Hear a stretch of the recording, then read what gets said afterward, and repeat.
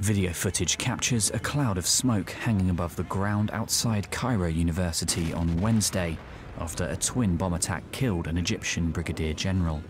Moments later, a loud blast is heard, presumably from the second bomb, and members of the security forces can be seen moving away from the location of the blast before heading back towards it with their weapons drawn.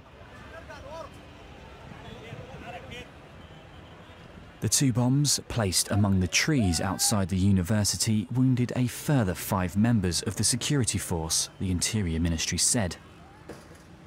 A third blast at the university left another person dead and five other people injured.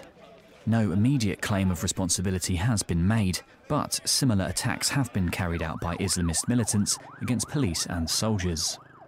Bombings and shootings targeting security forces personnel have become commonplace in Egypt since the army deposed Islamist President Mohamed Morsi.